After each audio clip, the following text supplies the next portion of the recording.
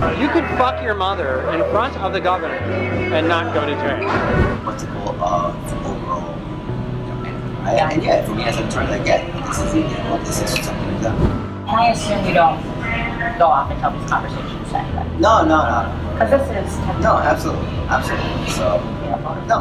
However, other people can make things happen that you don't need to know about. We talk about lots of things that we don't talk about. You know what? We've been busting people in to deep fucking asshole for 50 years, and we're not gonna stop now.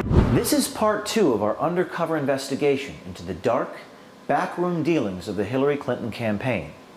Part one blew up on social media, with many Americans wondering why the mainstream media wasn't covering the story. In fact, Project Veritas Action had television exclusives lined up around the country. Those television stations spiked the story at the last minute. Our sources tell us the reason they did so was fear of retaliation and retribution from a future Hillary Clinton administration. Truth is dangerous, especially when it challenges those in power. In this video, Democratic operatives tell us how to successfully commit voter fraud on a massive scale. A lot of free union guys, they'll do whatever Oh yeah. you want. They're rock and roll. So I'm uh, basically deputy rapid response director for the DNC for all things Trump on the ground. Nobody's really supposed to know about me. You know what I'm saying? We have mentally ill people that we pay to do shit. Make no mistake. This guy named Cesar Vargas is his name. I got a priest to cry on camera once.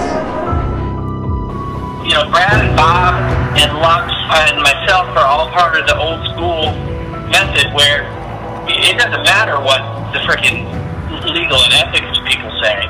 We, we need to win this motherfucker. Um, so Bob is really good friends with him, and talked to him this afternoon. And they are all in. If we can get 25 grand, they're all in. Our investigators wanted to find out what it would take to get the highest favorable turnout. Democratic politico Scott Foval was our target, and he was more than willing to lead us through the process of how to rig an election. We did to them when we were in charge too. So what did we do? We did the exact same thing.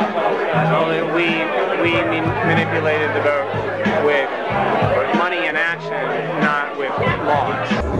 It's a very easy thing for Republicans to say, well, they're busting people in. Well, you know what? We've been busting people in to deep fucking asshole for 50 years, and we're not going to stop now. We're just going to find a different way to do it. So, I mean, I grew up with that idea. You know, they they used to bus people out to Iowa. If we needed people out there, we used to bus people out to Iowa. When we met Scott Foval, he worked for People for the American Way, an organization funded in large part by George Soros. He now works for Americans United for Change. It's a nonprofit that claims to, quote, move America in a new, better direction, unquote. With guys like Foval working for them, we wonder what direction that might be. Uh, when I do this, I, I think as an investigator first. Good. Yeah. Work backwards. Yes. Yeah, that's used, great. I used to do the investigation. Yeah. different method. I think backwards from how they would prosecute if they Yeah. could, and then try to build out the method to avoid that. The plan that was discussed was how to bring people from one state into another state to vote illegally. They could invalidate. Well, okay, let's just say in theory, if, an, if a major investigation came up of major vote fraud that way, how would they prove it and who would they charge? Are they going to charge each individual? Oh, sorry. Are they going to charge each individual with voter fraud? See, that's or what- they, that's what I'm they saying. going to go after the facilitator for conspiracy, which they can prove? And it's one thing if all these people drive up in their personal cars.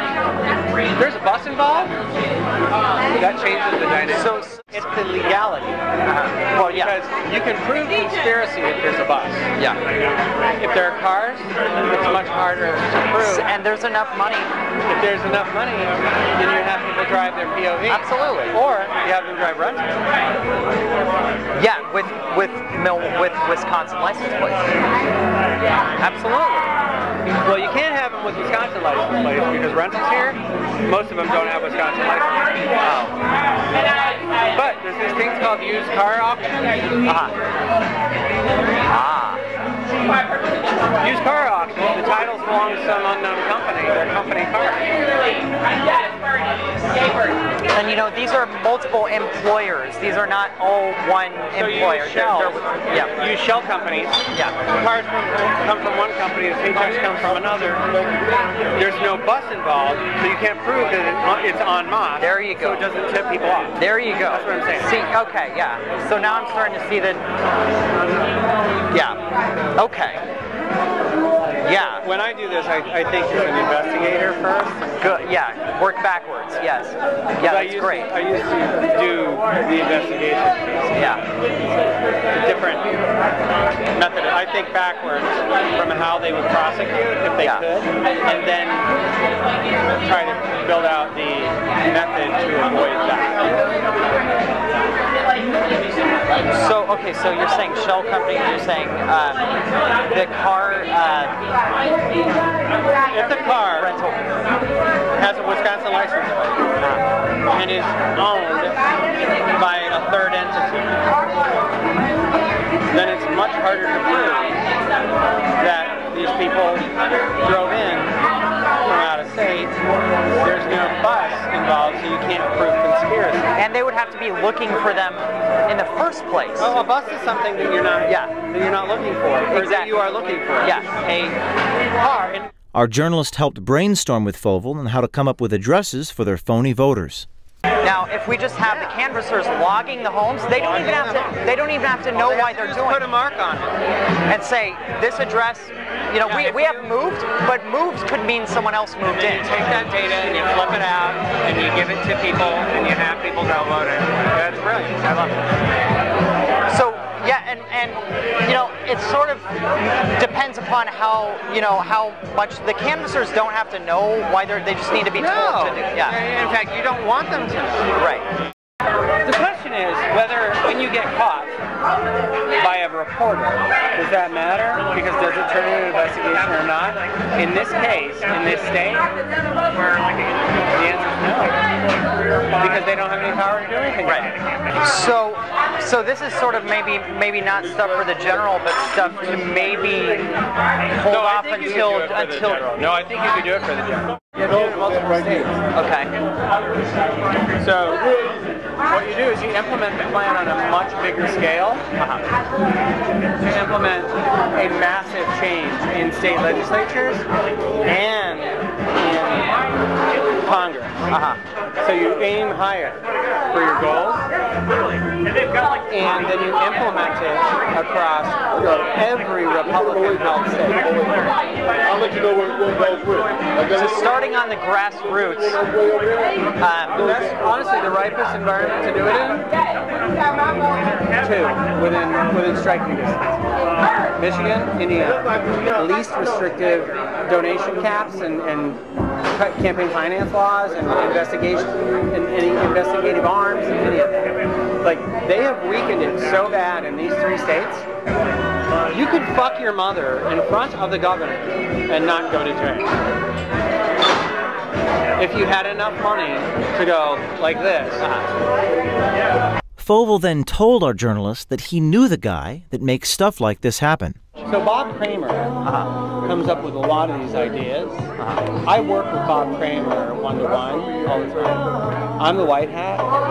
Democracy Partners is kind of the dark hat. Um, I will probably end up being a partner there at some point uh-huh. because we, our philosophy on things is the same. Bob Creamer founded Democracy Partners in 2011. He is the husband of Jan Schakowsky, a Democratic congresswoman from Chicago, and in 2005 he pled guilty on tax violations and bank fraud. He was convicted and sentenced to five months in prison and 11 months of house arrest. One of the things that Steve uh, was talking to Scott about, he passed on to me, and wh- I think it's one of the reasons why I got in touch with you. He envisioned, you know, what do you need to be able to vote in some of these new voter? What do you really need? Okay, what makes you a citizen? And if you look at that checklist, it's an ID card of any kind that shows you who you are, Right. and a pay stub that shows you're getting paid at a local address someplace. I mean, too, uh, mean, a, uh, to get registered. Yeah, Yeah. to get registered. Yeah. So you go in and register. If you have those two things, you're registered to vote. Yeah. So if you, let's say I had a business inside of, say, Illinois or Michigan, and I hired people and I had addresses for them, I could write them checks for those. I could use them as day laborers or whatever and use them and find my way around the, the um, voter ID, the uh, voter registration laws for, for Hispanics. Um, that's one thing. I'm, I'm actually, that idea, when he gave it to me, I was like, that sounds like something we could register huge numbers of people that way. Well, that kind of thing kind of stuck in my craw when he mentioned it to me. All right, let me, um, on that front, I'm going to write down these options. Let me see if I can uh, chat with the people who are most involved in Hispanic voter registration. Okay. And um, uh, and see what their thoughts are. I mean, there are a couple of different organizations that are that's their big trick. Okay, yeah, if you know folks that you can put me in touch with, Oh, like, no, what I- if I, you know, We'll have to do this. I mean, this is very important. This stuff. Turnout is huge, huge, huge. Because Bob Creamer is diabolical, and I love him for it. Yeah. I've learned so much from that man over the last 20 years, I can't even tell you. And he calls me to be his firefighter mm-hmm. a lot of the time. Yeah. Because there are people who, in our movement, who will not do what it takes to get shit done. And I am not that person. I'm the one they send when everything has gone to shit. So he, he spends a lot of time on the phone with my boss, actually, like asking for me to go places that I don't go. We had our donor set up a second meeting with Bob Creamer to see how he could help put this voter fraud plan into motion.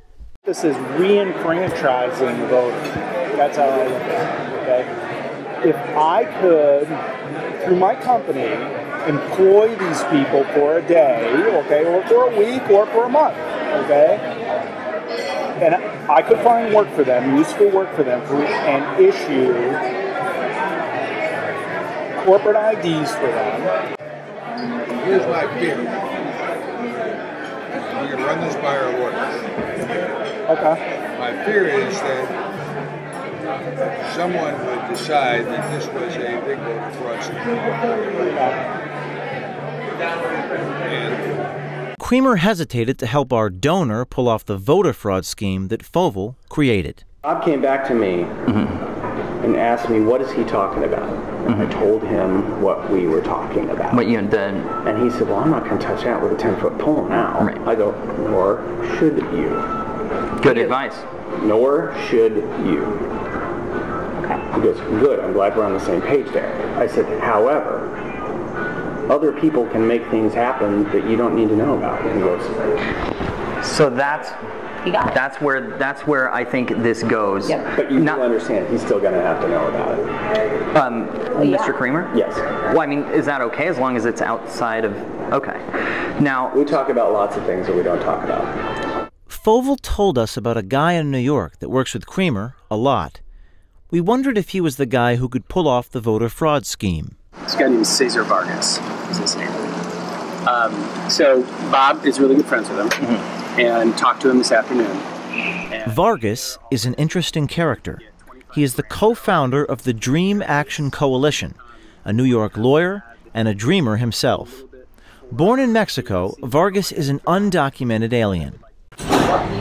Was, you know, sense, was transforming was that this idea, and you know, Scott made it seem possible, but said it wasn't possible.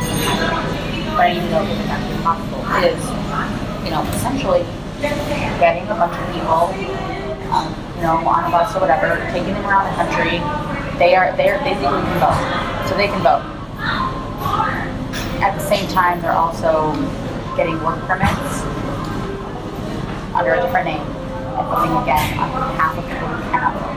Right. Yeah, I was to say like you know, can we make some effort, especially within the uh, you know, uh, midterm elections in 2018? Like it's, it, no, this is not to happen. right? I know that. And dynamic. So I think it's not about for us. Let's see who the next president is. Is, you know, if it if it's Donald Trump, then it even, even makes more sense. The issue would be even more incredible and much more opportunity for us to jump into this. Right. If it's Secretary Clinton, and the 49D laws are loosened, and we have much more opportunity for people to vote, mm-hmm. and we have immigration reform, it's not going to be as significant, right? If we cross the bridge, you know, can I count on you um, know, possibly help us do that? Yeah, no, absolutely. You know, count me in. You don't go off and tell these conversations anybody. No, no, no, no. Because this is No, absolutely, absolutely. As an activist, do we want to do this? Do we want to take a chance? Let's let's talk about it. We have to do a better job of making our people do what they're supposed to do. Not not asking them, making them, not expecting them and taking them for granted, but beating the shit out of them and making them. Like like like voters. Yeah. America, our series of videos from this investigation will continue up until the election. People ask me, James, what can I do? Here's what you can do. Send this video to every single person you know. Demand the mainstream media play these tapes. Email the journalists. Tweet at the journalists. And remember, the truth is dangerous, especially when it challenges those in power.